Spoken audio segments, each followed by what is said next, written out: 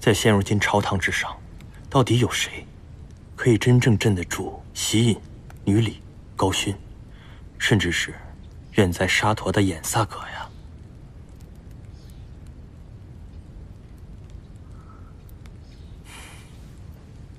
主上是否疏忽一人？谁？皇后。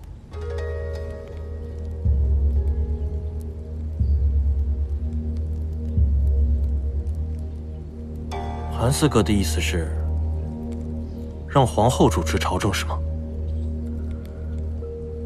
除此之外，臣想不到更合适的人选。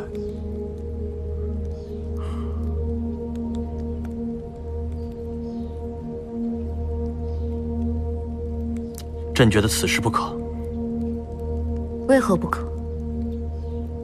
你忘了当初为什么会要我入宫？不就是因为……我是那个有能力站出来掌控大局的人吗？朕记得，但现如今你怀有身孕呢。我之前问过迪里姑了，她说孩子已经过了最危险的头几个月，现在已经很稳定了。我身为皇后，应该在此刻站出来直面困难，绝不应只靠你把我庇护在身后，而我对外界却一无所知。可，你要是再不放心的话。朝中不是还有韩大人吗？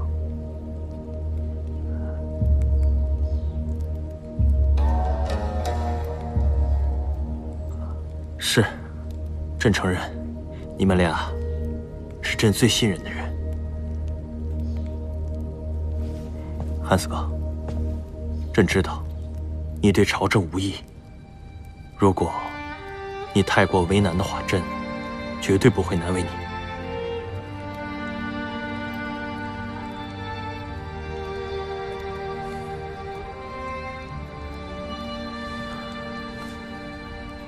倘若是主上，还有皇后所需，臣自当鞠躬尽瘁。好，有韩四哥这句话，朕就放心了。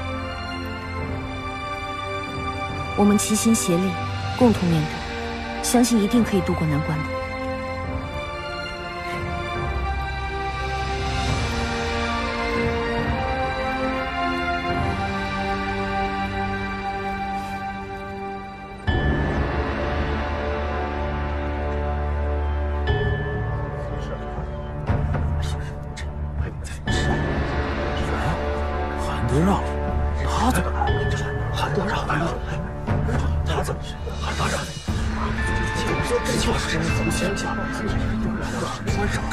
韩大人，王大人，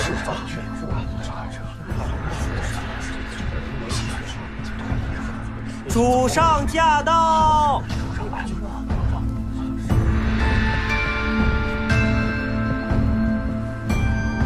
哎，皇后，和我皇后怎么上朝？了。参见主上，参见皇后。平身吧。谢主上，谢皇后。诸位大臣，朕自幼体弱，现如今这朝堂之上政务繁忙，朕是自顾不暇呀。朕决定将摄政大权交于皇后手中。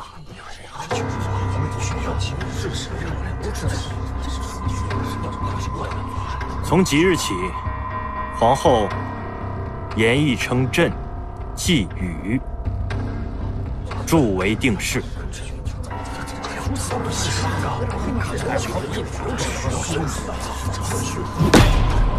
这成何体统？哪有后宫女人代为礼圣的？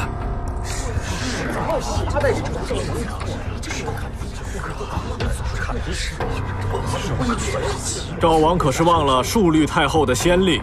哼！皇后跟淑律太后哪能一样？有何不同？当今皇后出身后族，又乃淑律太后之血亲，为何不可效仿淑律太后之先例？秦王接旨。臣在。朕愿效先帝，任官为贤才。秦王高勋善治善能，今特授宰相，佐镇理事。臣高勋领旨谢恩。右皮氏祥稳贤士接旨。臣在。右皮氏祥稳贤士，少名臣之世家，为先帝之侧室。特授北院枢密使，并辅大丞相，理北府之政。臣领旨谢恩。赵王喜隐接旨。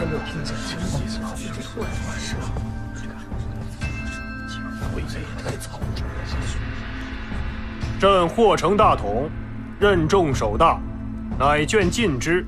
赵王喜隐身端行志，石远亮红，特授西南面招讨使。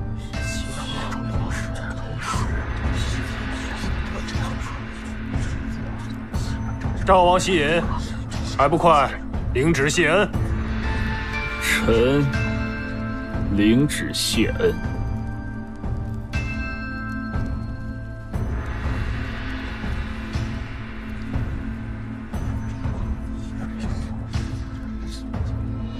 韩德让接旨。臣在。朕又遭不测。德让承皇族之重托，随侍护卫，未有旦夕懈怠。今特授枢密院通事。臣领旨谢恩。主上，臣觉得不妥。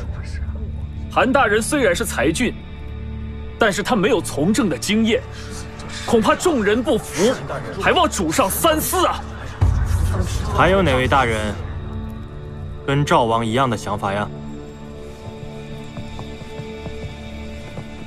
望主上三思。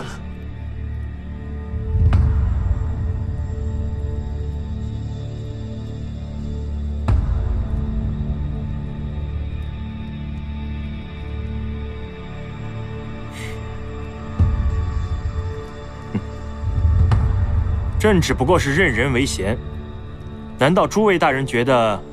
朕是思虑不周吗？主上也已经看到了，韩大人确实难以服众啊。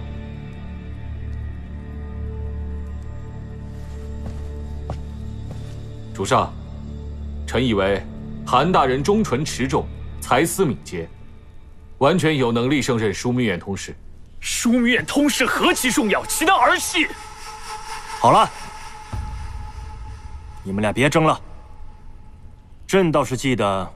朕在当初登基之时，将朝中的重要官职交到你们手中，看的是你们的从容之心，从来没有在乎过你们的从政经验。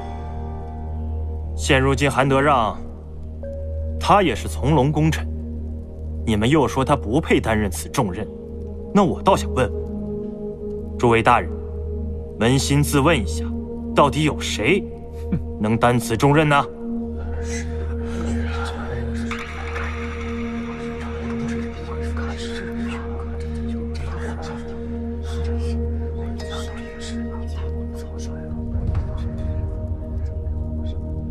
今日朕决定将枢密院通事一职交到韩德让手中。